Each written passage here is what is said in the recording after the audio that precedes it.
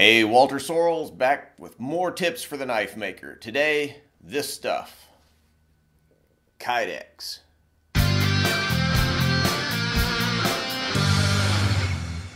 So, today we're going to make a knife sheath from Kydex. Now, what is Kydex? Kydex is a material, uh, a plastic material that's classified as a thermoplastic, meaning that you can heat it up and kind of squash it into shape, and whatever shape you mold it into, it's going to retain that shape once it cools down. So we'll be using that quality to make a really cool, simple, durable sheath today. All right, so Kydex has a lot of very attractive qualities for sheath makers. First, it's just very durable. Uh, it resists oil, water, solvents, all kinds of stuff, and it's just kind of like the old Timex, takes a licking and keeps on ticking. In addition, it's pretty cheap. Uh, the material we're going to use today costs about four bucks a square foot right now. Uh, and, uh, you know, it doesn't take a ton of skill to make really pretty cool stuff with it. So, let's get started.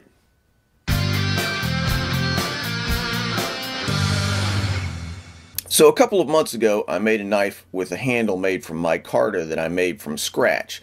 Today, we'll take that same knife and give it a very simple Kydex sheath.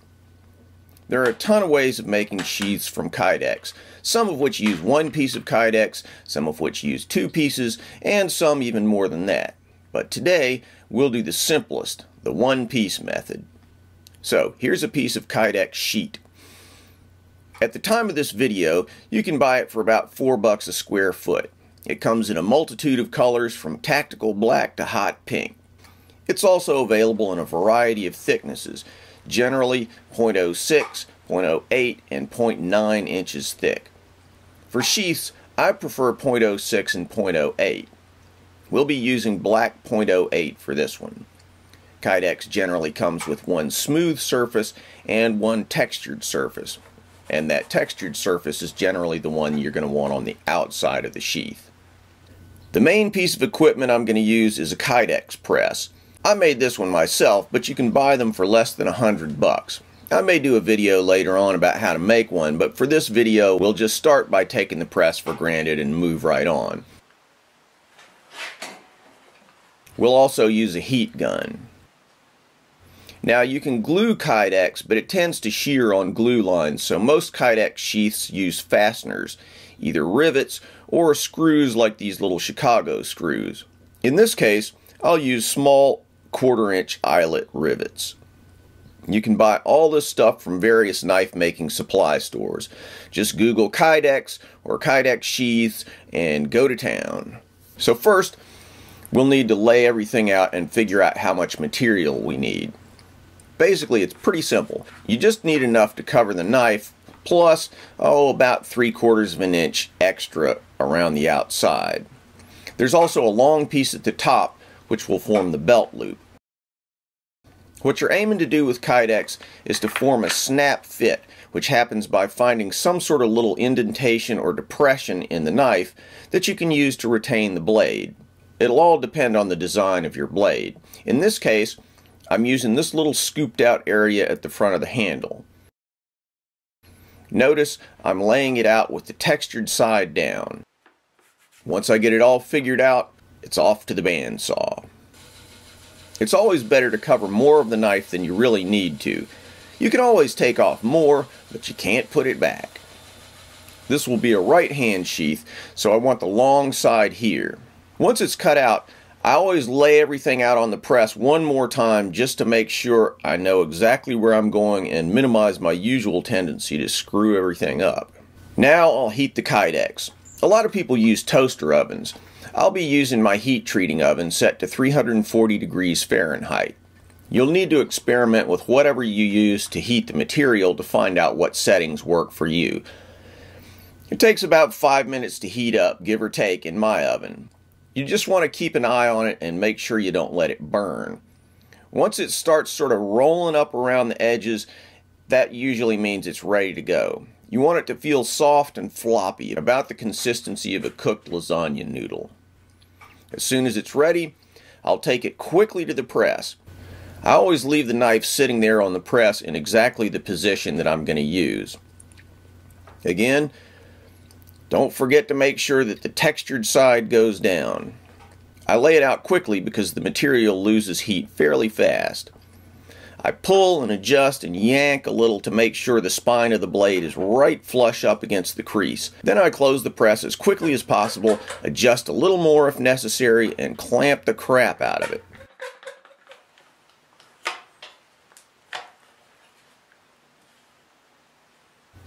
Then I just leave it. An important feature of Kydex that you need to be aware of is that the material has memory, meaning that if you reheat it or take it off the press before it's completely cool, it'll start losing definition as it tries to return to a flat sheet again. So don't be in a rush to get it out of the press. Especially in the summer when it's hot, give it about 10 minutes to cool. If it feels hot to the touch when you open up the press, close it up again, clamp it again.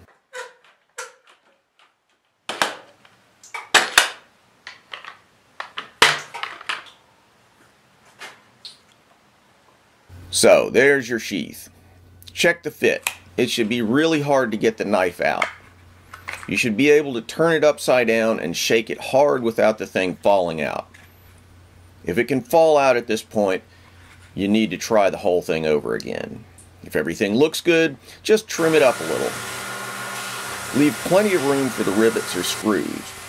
Like I said, they sell cement that you can use to bond the material together, but if you do everything right, it's not really necessary on this particular design. The rivets will do all the work.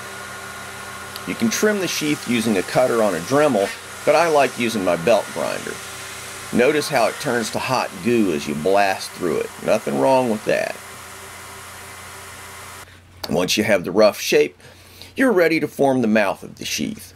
As I said, I intentionally make it a little oversized I'll insert this little piece of wood to give myself clearance on the belt grinder.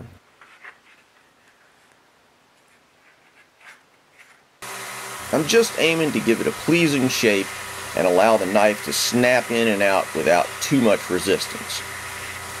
Once I'm happy with the general shape of the opening, I'll gild the lily. Now this isn't really necessary, but you can do it if you want using a heat gun. Yes, that's a heat gun, not my wife's hair dryer. I'll use a piece of wood to restrict the heat a little and heat just the lip. Then I'll just bend it the tiniest bit. You can skip this step if you want, but it makes me feel good. Okay, time for the belt loop. I'll form it by heating this tab at the top with the heat gun and then bending it around a wooden form. The key thing to understand here about the belt loop is that it has to clear the back of the sheath, which is kind of rounded. If you just bend it over and squash it, it won't be nice and square. So the form I use has a scooped out portion to give the right clearance and still keep it nice and square. If you don't scoop it out like this, that belt loop is going to stand out too far and it's going to look kind of goofy and the whole thing is going to hang too far off your belt.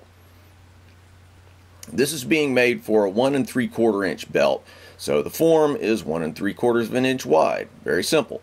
Before forming the belt loop, I'll measure it, trim this tab at the top, and radius the corners. Now always be careful with the heat gun. It can very quickly heat portions of the sheath that you don't want heated, and then there goes all your hard work. You got to start over again. I have to take the knife out to get this little portion right here heated evenly but I'll slide the knife back in before I fold the tab over and form the belt loop. Otherwise, the fit to the knife will likely get lost at this point right at the top. Once I get it all softened up, I very quickly bend it and slap it back in the press again.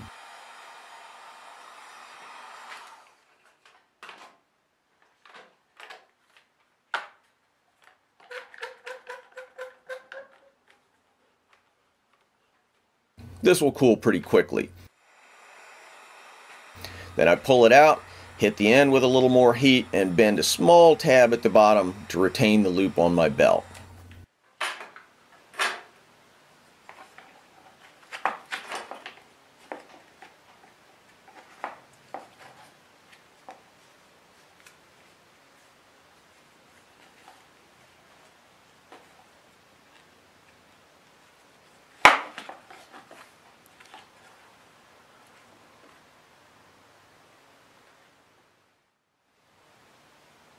Test it out. Everything works fine. Next, it's time to add the rivets. Positioning the rivets is basically a question of how tight you want the opening to be. You can put a clamp on there or hold it with your fingers and sort of test where you want to set that rivet so that you'll have the optimum amount of retention. Now rivets come in several sizes, but here I'll be using quarter inch rivets.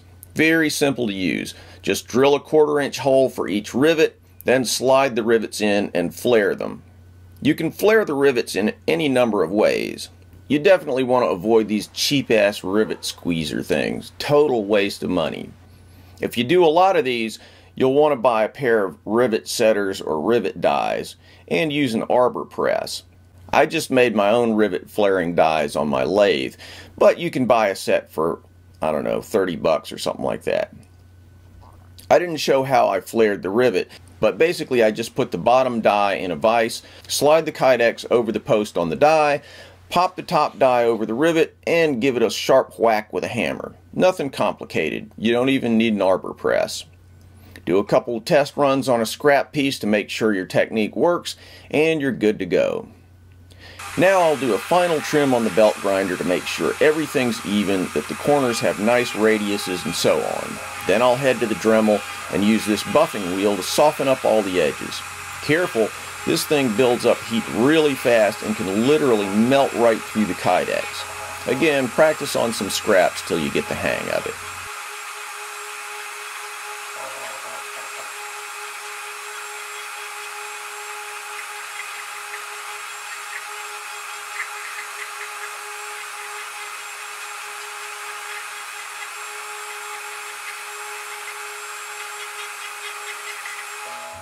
And there you have it. Looks pretty decent, works great. Once you get the basic system down, you'll see that Kydex is really versatile. You can mount Tek-Loks on them, MOLLE compatible fasteners, screws, thongs, whatever. But this method is super simple and it works great.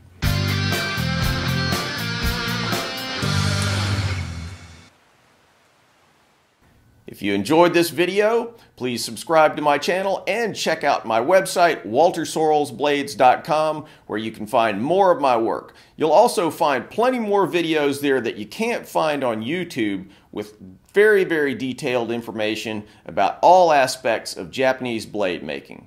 Also, like me on Facebook at Walter Sorrells Blades.